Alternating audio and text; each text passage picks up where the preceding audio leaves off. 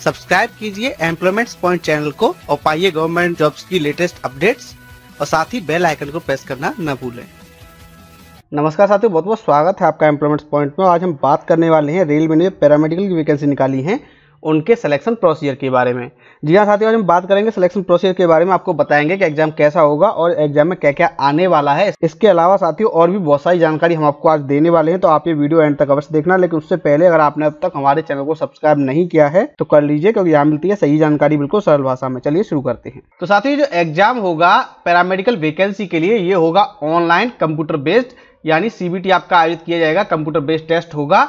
और ये single stage में होगा। सिर्फ़ एक ही एग्ज़ाम होगा, उसी के बेस पर कैंडिडेट को शॉर्टलिस्ट कर लिया जाएगा डॉक्यूमेंट वेरिफिकेशन के लिए। सभी आरआरबी का एक समान होगा और आप सिर्फ़ एक ही आरआरबी के लिए अप्लाई कर सकते हैं, एक ही ऑनलाइन एप्लीकेशन फॉर्म आप भर सकते हैं। नब्बे मिनट का आपका ये क्वेश्चन पेपर आएगा सीबीटी में जो आएगा, और उसमें सौ क्वेश्चन होंगे। इसके लिए तीस मिनट का अतिरिक्त समय उन कैंडिडेट को दिया जाएगा जो विकलांग हैं। तो विकलांग कैंडिडेट को दो घंटे मिलेंगे, वहीं बाकी कैंडिडेट को डेढ़ घंटे में ही अपना पेपर करना होगा। सौ क्वेश्चन इसमें आएँगे और ये एमसीक्यू बेस्ड होंगे ऑब्जेक्टिव टाइप होंगे। सही के लिए एक अंक दिया जाएगा, गलत के लिए वन बाई थर्ड की नेगेटिव मार्किंग होगी। और जो पेपर आपका आएगा, उसमें general awareness arithmetic general intelligence reasoning और जनरल साइंस से संबंधित प्रश्न आएँगे। इसके अलावा आपकी प्रोफेशनल एबिलिटी से भी प्रश्न पूछे जाएँगे। बात करते हैं सेक्शन वाइज मार्क्स की। तो प्रोफेशनल एबिलिटी के, यानी जो सब्जेक्ट जिससे आपने बढ़ाया, जिस पोस्ट के लिए आपने बढ़ाया उस पोस्ट के स्पेसिफिक क्वेश्चन होंगे सत्तर, जिनके मार्क्स आपको मिलेंगे सत्तर। वहीं जनरल अवेयरनेस के दस क्वेश्चन आएँगे, दस मार्क्स के लिए मिलेंगे। मैथ और रीजनिंग के मिला के दस क्वेश्चन आएँगे टोटल इसमें से दस मार्क्स आपको मिलेंगे। जनरल साइंस के आएँगे दस क्वेश्चन और दस मार्क्स आपको मिलेंगे। इस प्रकार सौ क्वेश्चन होंगे, सौ नंबर होंगे और समय होगा एक घंटा तीस मिनट वन बाई थर्ड की नेगेटिव मार्किंग होगी सही के लिए एक अंक और गलत के लिए वन बाई थर्ड मार्क आपका काट लिया जाएगा। मिनिमम क्वालिफाइंग मार्क्स जनरल और ईडब्ल्यूएस के लिए है चालीस परसेंट ओबीसी एससी के लिए है तीस परसेंट एस के लिए है पच्चीस परसेंट पीएच कैंडिडेट को अतिरिक्त दो परसेंट का रिलैक्सेशन दिया जाएगा। और ये दो परसेंट का रिलैक्सेशन तभी दिया जाएगा जब नंबर ऑफ़ कैंडिडेट उपलब्ध नहीं होंगे। पीएच कैंडिडेट अगर प्रॉपर कैंडिडेट उपलब्ध होते हैं तो उनको उनकी कैटेगरी के अकॉर्डिंग ही परसेंटेज प्राप्त करनी होगी इस एग्ज़ाम में। तो जनरल वालों को 40 परसेंट क्वालिफाई करना होगा, उसके बाद ही उनको मेरिट में शामिल किया जाएगा उनके मार्क्स के बेस पर।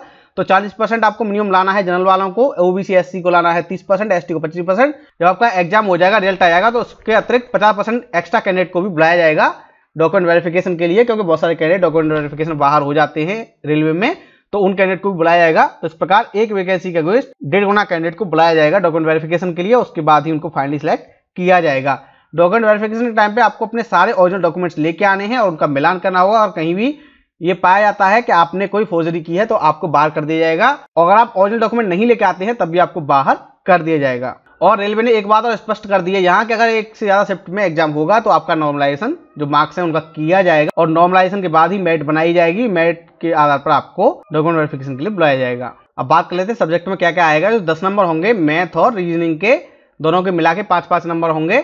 तो इसमें जनरल मैथमेटिक्स में आएगा आपका नंबर सिस्टम, बोर्ड मास दशमलव भिन्न, एलसीएम, एससीएफ, यानी लसपा मसपा इसके अलावा अनुपात, समानुपात, प्रतिशत चित्रमिति time and work interest profit compound interest simple interest इसके अलावा algebra geometry trigonometry elementary statistics square root age calculation calendar और घड़ियाँ पाइप और सिस्टम से संबंधित प्रश्न आएँगे। वहीं रीजनिंग में analogy alphabetical number series coding decoding इसके अलावा डाटा इंटरप्रेशन और syllogism relationship jumbling Venn diagram इसके अलावा क्लासिफिकेशन एनालिटिक रीजनिंग इससे संबंधित प्रश्न आएँगे। तो ये दोनों पाँच पाँच अंकों के आएँगे, दस अंक के टोटल होंगे। जनरल अवेयरनेस की अगर हम बात करें तो इसमें भारत का स्वतंत्रता आंदोलन, भारत की राजनीति, संविधान, भारत की अर्थव्यवस्था, पर्यावरण से संबंधित इश्यू खेल कूद इसके अलावा वैज्ञानिक खोजें और टेक्नोलॉजी डेवलपमेंट से संबंधित प्रश्न आपसे पूछे जाएँगे, ये भी आएँगे दस अंकों के।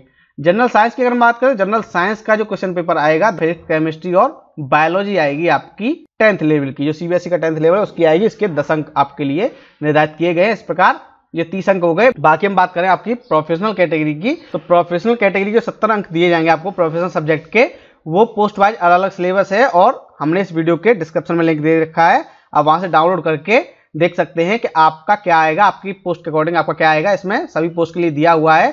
पोस्ट वाइज अलग अलग है क्योंकि पोस्ट वाइज सर्टिफिकेट जो है डिप्लोमा जो है वो अलग अलग है और उनका सिलेबस भी अलग है। इस प्रकार सभी पोस्ट के लिए अलग अलग दिया हुआ है। हमने इस वीडियो के डिस्क्रिप्शन में लिंक दे दिया है वहाँ से।